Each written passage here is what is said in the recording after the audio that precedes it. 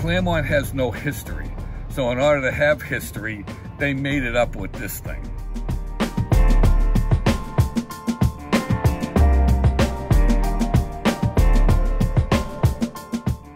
It's time to get out.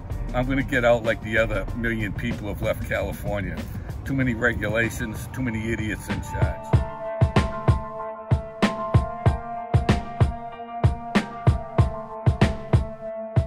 Proud of all the work that I've done around here to, to save these historic buildings.